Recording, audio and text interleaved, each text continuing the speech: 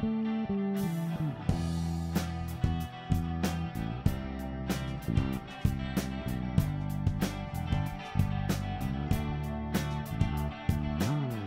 the darkness, your love found me. Gave me hope when I could see no sign of hope inside. Reaching out with arms wide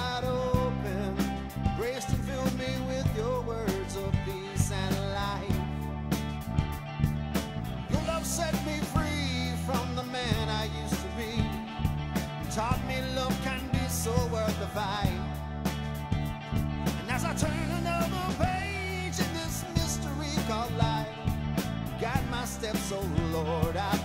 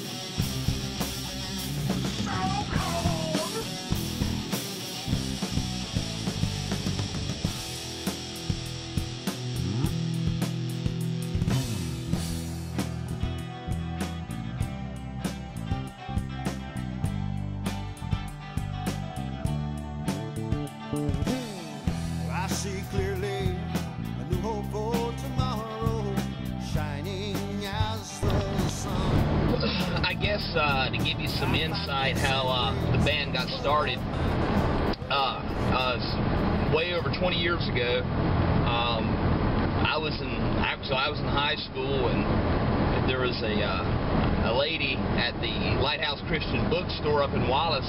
I used to go there and buy Petra tapes, Stryper tapes all the time, and uh, karaoke tapes, which I never sang to or anything, but um, I just enjoyed talking to that lady, and I think her name was Mary. I'm not sure, but uh, she was a real sweet, uh, sweet lady. And uh, asked if she knew a good guitar player, and uh, she said, "Well, yeah, I know a guy, and, and he lives out towards Chinquapin, which is where we're headed now. Uh, his name was uh, Casey Halso.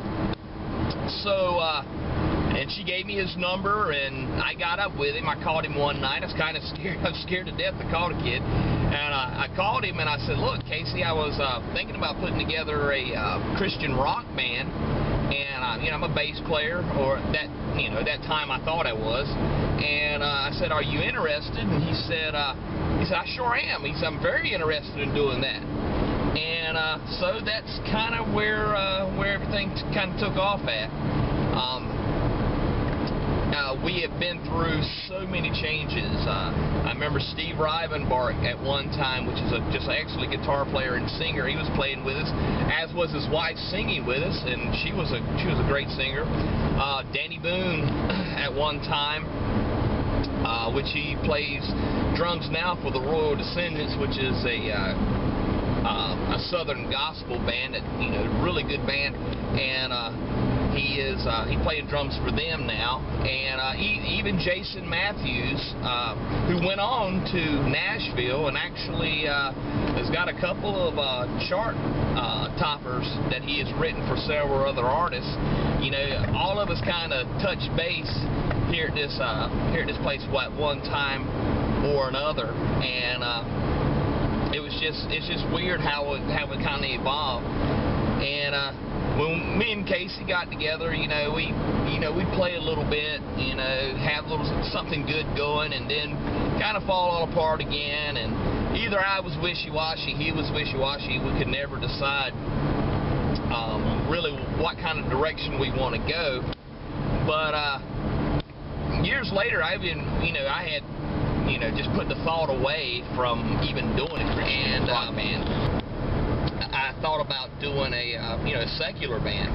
So you know, Casey came in, we played a couple secular songs and stuff, and uh, had a good time doing it. And he, he kept mentioning this guy um, that is that his cousin kept mentioning. His name was uh, his name was um, uh, Salvatore Lana, which he called him Sal. And he said. Uh, he said Sal's a really good drummer, and why don't you know when he when he moves here, why don't we start playing? And uh, I kept, you know, I said well, that sounds good. So about that time, I'm I'm pumped up, you know, I'm ready, I'm ready to start playing, and uh, and, but Sal never showed up, so.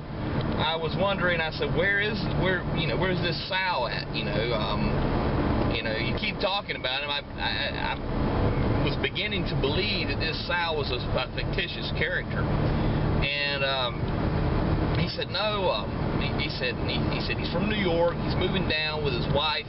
Um, he's decided he wants to move to North Carolina. He's building a house and actually rode by Burgaw, which where, where Sal lives, and that's actually where the same house he stays in now to see if the kid, the kid was building a house, and he was. And uh, man, this is traffic is terrible. And uh, oh man, what's up with this? And uh, he was building a house. So one day I got that call from Casey. He said, "Hey, you need to go to Maple Hill with me," which was Sal. You know, he rented a house there at the time. You know, while he was still building his. He said, "You need to go to Maple Hill. Sal's got his drum set there. Get your bass, your bass amp, and we're going to go out there and play." So uh, I did. I still wasn't expecting to see Sal. And I got out there, I met him, and um, struck a few chords together, man, it sounded really good. And I was like, wow, you know, um, this, you know, this, this, something could happen here. Uh, and then we kind of left the Christian, um, the Christian music, and then went on to um, secular music, playing stuff like Journey, Kansas, uh, Cry Love, all that kind of stuff. And um, it kind of went on from there, and it kind of dissipated after a while, and you know, we really never did anything you know with it. these people right here. Uh, just give me a sec. All right, let's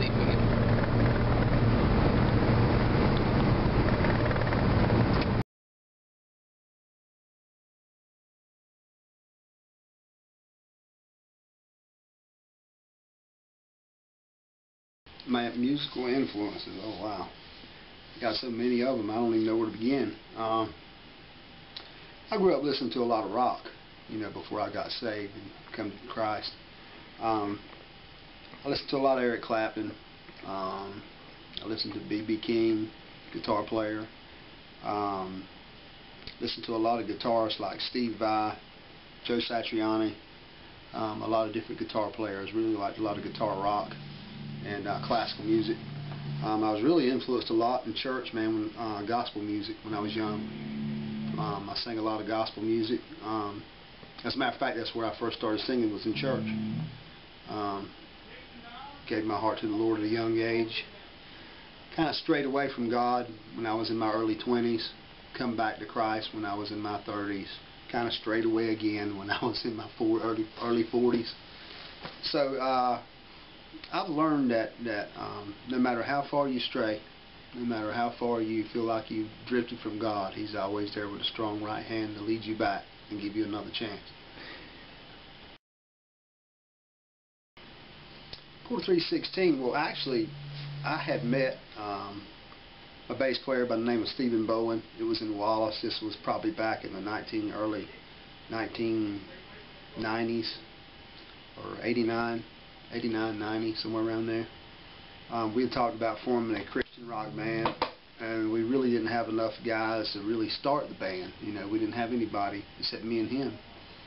Um, we played with uh, a guy named Danny Boone for a while. He was a drummer. It seems like it never really got off the ground really good, you know. And then I think it was back probably about 15 years ago. Um, a friend of mine named Salvatore Lana, he moved here from, from New York. And uh, when he moved here, uh, me and him started playing a little bit together. I got back up with my friend Stephen Bowen. I've been telling him about this guy. And uh, Stephen, I knew Stephen played bass. I knew Stephen was in church at the time, and he wanted to start a, a Christian band back up. And so uh, it kind of formed from there. We had a we we tried to get together a few times, and the first few times we got together and started playing, we were playing secular music. Um, it never got off the ground or did anything, but we played, you know, stuff like um, Eric Clapton, Bryan Adams, Journey, stuff like that, but it never really went anywhere. Um, we all got our set, got our lives straightened out, got back in church. I got back in church, and I decided, I made up my mind, man, I want to do this for God if I'm going to do this, you know. And so uh, I called Stephen up on the phone one day, and I asked him, was he interested in, in getting the band back together, but this time doing Christian music? He said, yeah, man. He said, I'm really interested. Let's go for it, you know. And uh, we knew Sal was going to want to do Christian music. He had become an evangelist and gotten saved, and uh, his son was really interested in being in the band. And uh, so that's kind of how Port 316 got started, how it was formed. Yeah, that I am. Newest member. You know, getting on there was quite a struggle. You know, I had to go to so many practices. I mean, they just, they're like, you know what? I mean, we like little Sal. We just don't know if he can hang with the big boys just yet. So, you know, I sat in my room, just, you know, really dedicated, mess up a lot. But, I mean, look at me now, my little, uh, my little nook here. Well, yeah, I mean, you know, I've known these guys for a long time since I was little, and, uh, you know, I was actually really, really into the music from the start, so. Yeah, I wrote this song, Never Fall. I wrote it about three or four months ago. Um, you know, just playing around with random progressions. Actually practicing one of our other songs, and it just hit me. And, I don't know, it just kind of fell together from there. So my influences, well, like un unlike a lot of my bands, like um, unlike the other people in the band, I'm more of um, more into like the stuff that's going on now, the more mainstream. Like as far as like Christian rock goes, I like uh, Disciple, Skillet. I'm a big fan of um, Kutless, ah, just all kinds of stuff. And um, before I became like a really dedicated Christian, I listened to a lot of Three Days Grace, Breaking Benjamin. I'm a really big fan of Bullet for My Valentine. And, you know, those are just things, you know, I try to take little pieces of their songs and I try to make them my own. Well, I had started writing some songs and putting some songs together, and uh, it was kind of it was kind of tough at first because uh, I was playing a lot of acoustic guitar, but I knew I wanted more of a heavier rock sound. I knew that's what me and Sal had talked about. We wanted that kind of sound. We couldn't find that kind of sound. So we kept playing with it and playing with it, and we started trying to write an album, a Christian album, a few years back. It didn't go anywhere, um, and I started wanting to really have something more for the youth, something more rocky, edgy type Christian music. Um, so uh, I started writing, and I started writing a lot different than anything I'd ever written before. It was really rock. It was really rock music but it had a good message to it. And the words and the lyrics, I know they came from God because I cannot write music the way some of the lyrics are on this album. Um, I know that they were inspired by God, beyond a shadow of a doubt.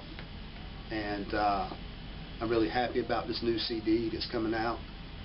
And um, we've really worked hard on it. It's been really hard for us because at the same time, we're here doing this.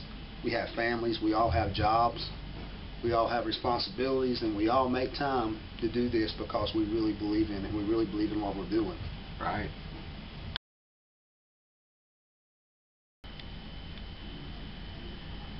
I feel great about it. Um, I mean, it's always been just a trio for over 10 years now with Stephen on bass and Casey on rhythm and lead and vocal, which was a lot of work on Casey. And of course, me on drums. But we pulled little Sal, my son, in, and uh, we really just needed someone to fill up the dead air because we were such a tight trio. And uh, lo and behold, man, he turned out to be a whole lot more than just filling up the dead air. He learns really quick. And uh, him rehearsing with us, who've been playing for many years, and you know working closely with Casey, he's really becoming an excellent guitar player. Very dedicated, very tight, great timing, and uh, I really believe that he's what this trio needed to com to complete the band and the and the band's sound and the band's lineup. Uh, so I'm really happy with uh, Little Sal right now. He's also writing some songs and he's working with Casey, who's got a lot of experience with writing music. And uh, I'm really happy on what I'm hearing. Um, it's exactly the type of music I've always felt I wanted to play, even in the secular. When I played secular music, I liked hard rock.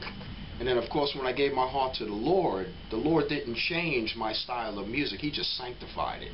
And that means that, you know, I still like to play hard rock, but now we're playing music that really brings glory to God.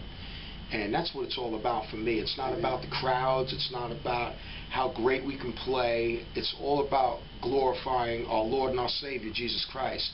And I wouldn't do it for any other reason. And because we've all dedicated ourselves and committed ourselves to this cause, it's really come together super tight.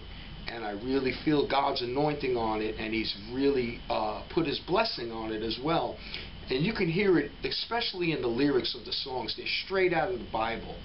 And uh, I'm really pleased with it. And I see Port 316 really going places, of course, giving God all the glory. And as I turn another page in this mystery called life, guide my steps, oh Lord, I pray. For it all.